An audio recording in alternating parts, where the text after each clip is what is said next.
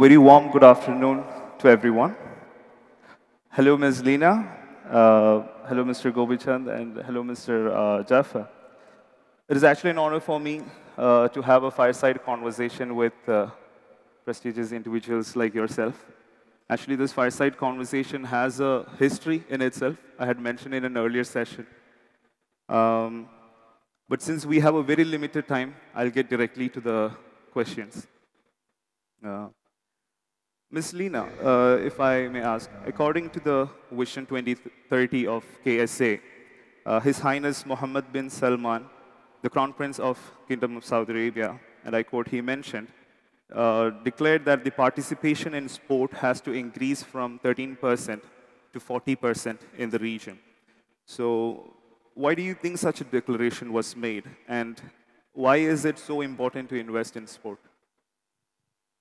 Assalamu alaikum, everybody. Uh, regarding Vision 2030, it was definitely the turning point for sports in Saudi Arabia. It had many objectives, out of which increasing participation from 13 to 40 percent. It wasn't just about the sports. The country looked at it from a perspective of, in, uh, in terms of spending over 19 billion Saudi riyals on uh, diseases related to the lack of movement so because people weren't moving, they were spending a lot of money and the, under the Ministry of Health and a lot of also social uh, problems, uh, boredom, uh, many other uh, you know uh, issues so on a social perspective. So it was really um, a turning point for the sports sector, especially for women, because the vision didn't differentiate between boys and girls, men and women. It was for everybody. It was really about sports for everyone young, uh, middle aged, the elders, uh, persons with uh, disability. Um, in addition to that, it was about empowering women because also as an objective under the vision was to increase women in the workforce. So technically the sports sector is, yes, a big part of it is, is the activity part and um, the participation, but also you're looking at it from job opportunities, um, men and women working in different sectors related to sports, whether it's sports marketing, sports psychology, um, or the technical part of sports. Um, I think that, uh, you know, it was one of the most successful transformations in the world because our targets, for example, women in the workforce, was to reach 30% by 2030. And we've already reached that target and surpassed that, um, you know, uh, number. So that's, you know, and I think more to come, hopefully, even when it comes to the uh, figures of sports. Wow, mashallah, that's great. Uh, Mr. Gopichand the next question would be to you. Now, on a very general level, maybe on a global context, considering that you were in the sport industry for a very long time, what do you think is the future of sport especially considering the investment channels coming into the sport and the scope of the sports sector in general? Good afternoon, everyone. I think um, for me, the investment in sport is something which is very critical for the very fact um, what Ms. Lina said about lack of movement causing a lot of issues. And if you look at our world today, we have grown alphabetically and numerically in some sense, but we've gone down physically in the last 30 years. And the digital revolution and technology has only made things worse on the physical side. So we have to invest to ensure that people are healthier physically and mentally. And I think it's time for us that investments are needed, are necessary to make this transformation and this lack or this lag in the literacy, if we were to call alphabetical and numerical literacy in some sense as a positive sign, we have to take what has happened in the last 30 years on the physical side as negative and start to invest on it to ensure that the future generations are healthy and we can take things forward. Thank you. Thanks a lot. Uh, Mr. Jaffa, uh, if uh, you have been in the Arab Federation of the Sport Council, now you are the head of BWF in the Dubai chapter. So how strong is the presence of uh, badminton in the Arab region? And uh, what do you think is the future goals of BWF in the Arab region? Uh, good evening, everyone. You know, investing in sport is really important, and we cannot uh, only imagine that government should invest in the sport only. I think it is the community and everybody and the private sector also responsibility to provide more facilities to promote the sport. Like any other product, we can see the video games and we can see all the products. There's a huge companies are promoting it, but we don't see yet that a lot of people, you know, a lot of businessmen looking at sports and investing and building stadiums and building arenas where that arenas and sport can compete with the video games and with, with compete with shopping malls and cinemas and other things that we don't actually move to do it. And badminton in the region have grown so much in the past eight years. Uh, we can see a lot of academies now, coaches, competitions, not only in the UAE, but also we see a lot in Saudi Arabia and Bahrain, Qatar, Kuwait, and the whole GCC. And I think it's, it's really a good trend to see companies, academies are putting effort to support the government efforts, to support Badminton World Federation and Continental Federation and national federations. Because I don't think so that any national federation have the capability to fulfill the demand for the sport. There's large numbers who plays badminton, we have in the UAE, we have more than 10 to 15,000 that players who plays on a regular basis. Imagine how much facilities we have to build and provide for them, for them to able to continue playing badminton. So it's really important to have private sectors joining hands with the government sector to provide these opportunities, playing opportunities for everyone. And I like that the question was about participation and it was not about performance. Because in many cases, people look at sport as only performance, about the top level players and their achievement. But in many times, we forget about the community and the health of the community. So a lot of government now looking at participation models, about opportunities, about building facilities, because this is the only way we can get the community moves. Thank you. Um, as you mentioned, there's a coexistence of uh, the businesses and sports have to go hand in hand for the betterment of the overall uh, segment of the market. So uh, what I would uh, again ask Ms. Lina is one thing, uh, one interesting thing I noticed in the bio of Jeddah United is, I mean, since I'm also a very big fan of basketball, um, you have two academies. One is dedicated to football, and one academy is dedicated to basketball. But what strikes me is why basketball in the Middle East region? Because uh, obviously football is the most popular game in the Middle East region. So is it because you see a great future in the game? So I was a um, graduate of a Saudi private school. And um, in private Saudi schools, we had basketball as uh, the only, most popular game. We had volleyball as well.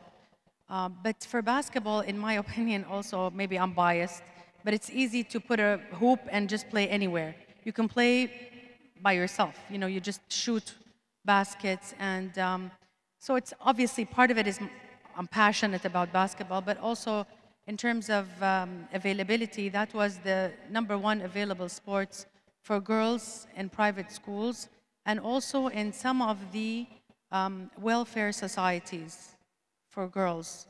Um, so it was just uh, very popular. Obviously, for boys, it's football.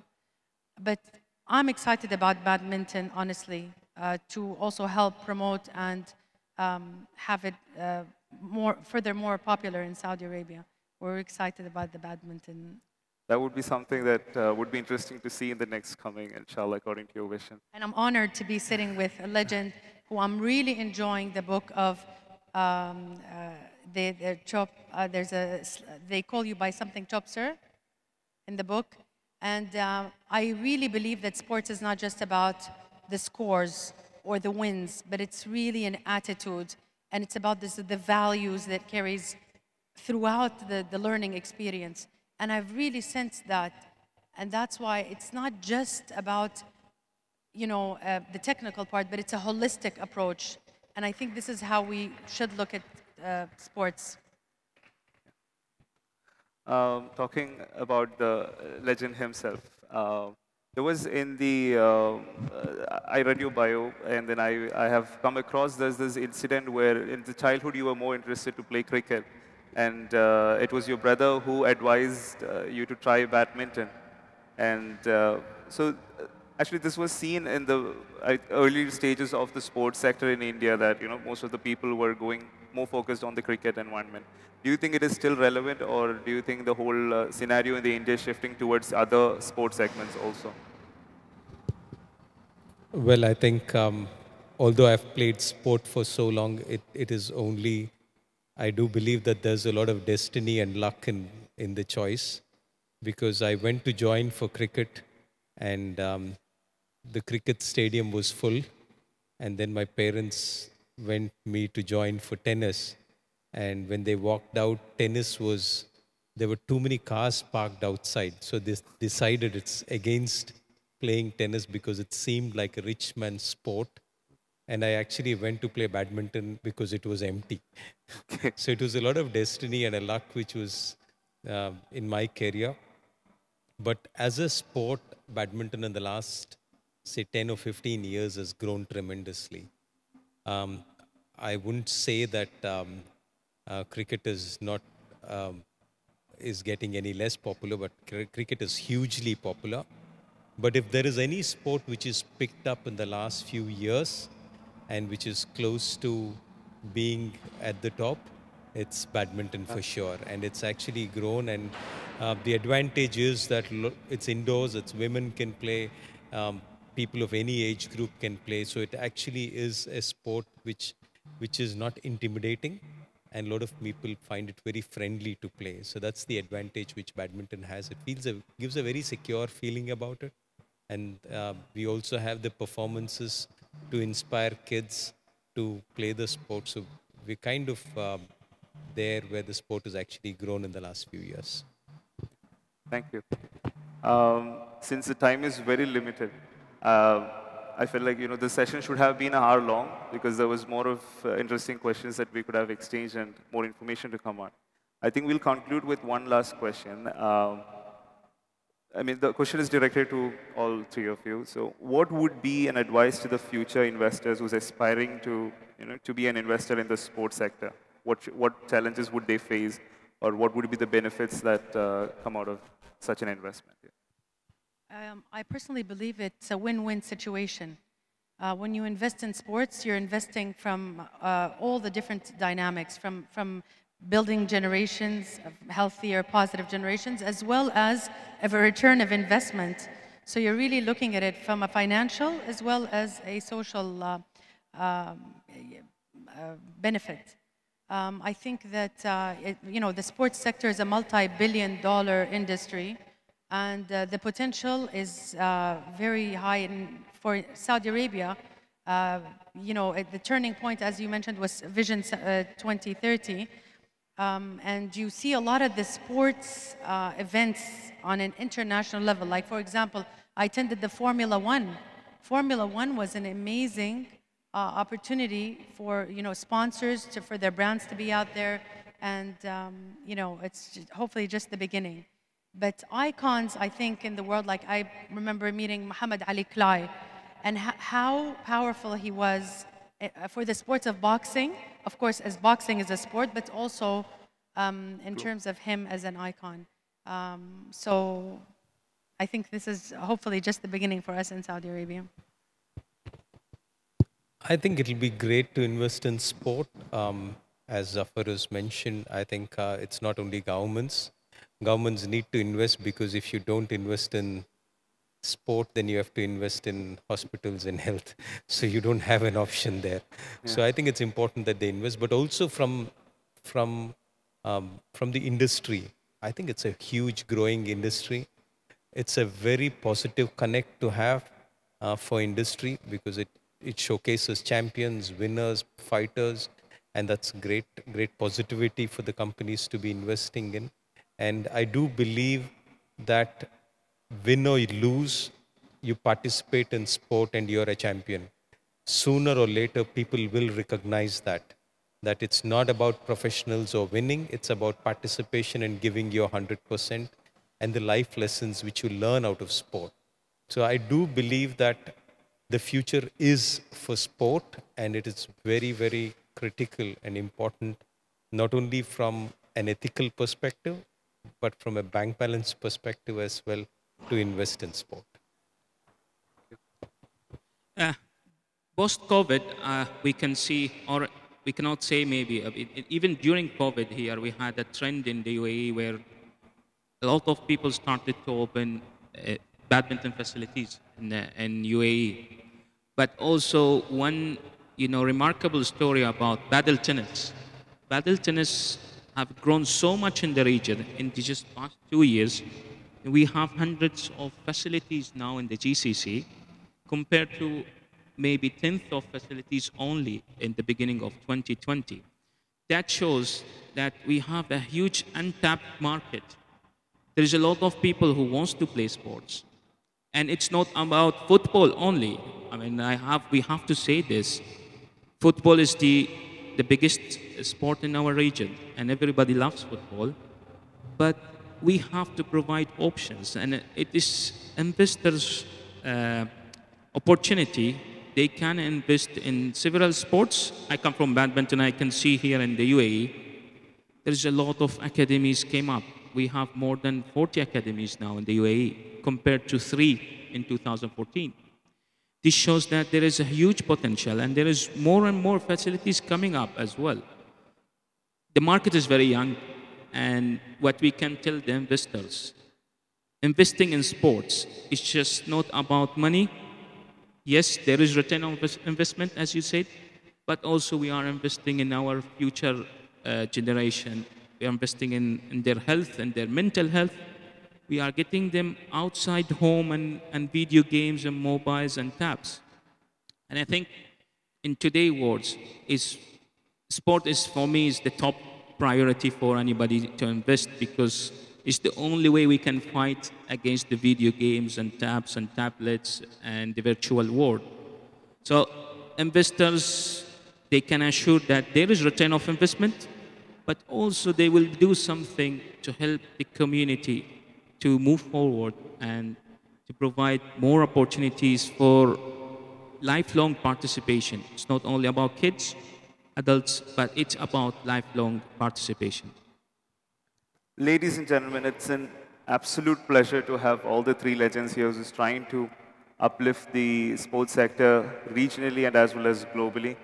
Again, it's a pleasure to have all you here and uh, spend wonderful time with you. Now, to end the session, I would like to invite Mr. Taufi, the MD of uh, Gulf Badminton Academy, to hand over a signed agreement uh, of GBA and Jeddah United to Lina Al